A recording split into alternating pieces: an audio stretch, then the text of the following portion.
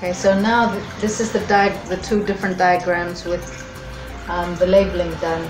So that's a petiole, like I said. That's a lobed leaf, but where that little lobe that doesn't come all the way to touch the midrib. That's the midrib, right? That central sort of vein. This one here, that's a small vein there. And the compound leaf, these are two leaflets. So this whole thing is a leaf connected by a petiole to the twig. And how do you know? Because how do you know it's a compound? Because at the foot of the petiole, or where the petiole connects to the twig, you see you can um, usually locate a bud node. Bud node there, bud node there. But you will not have any bud node at the at the base of a leaflet.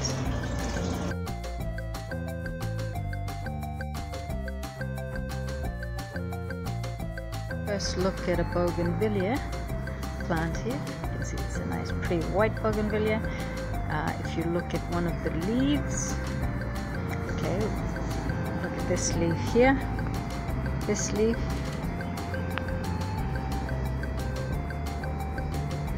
Uh, if you look at the base of the leaf, you will see the bud. Like I said, so there's a bud at the base of the of the petiole where it connects to the twig. So this is a simple leaf.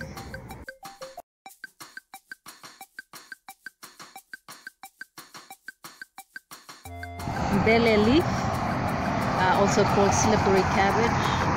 You will see the leaf is lobed. So see this part here? But that doesn't come all the way to touch the middle Alright? So, yeah, it's a simple leaf. You can see each of the lobes, they don't connect all the way to a mid um, a middle vein. And then if you look at where the petiole here connects to the um, the stems, you will see see you see that little growth there. That used to be a bud. So out of the bud you can get new leaves.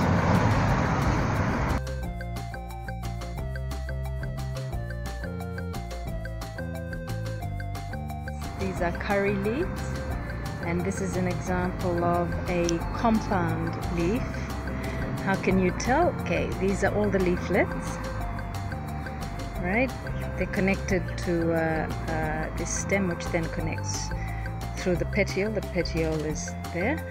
And remember what I said about the bud. If you look at the base of the petiole, you might be able to see um,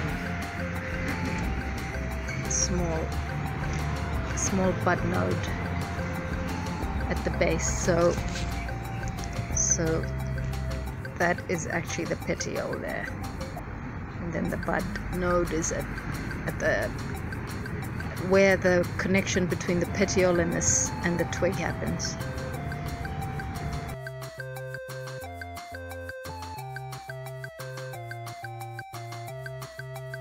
Moringa leaf, and that is a compound leaf. It's not just a compound leaf; it's um, a double pinnately compound leaf.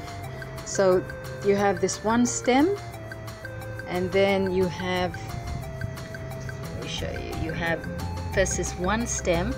So this is where the petiole is. If you look very carefully you will see a node. There's a small node there. So that's the petiole. And then this is one stem and then there's a smaller stem that goes there so once you have this one stem and then the smaller stem it's double pinnately compound. So the, the leaflets aren't off this they're off this.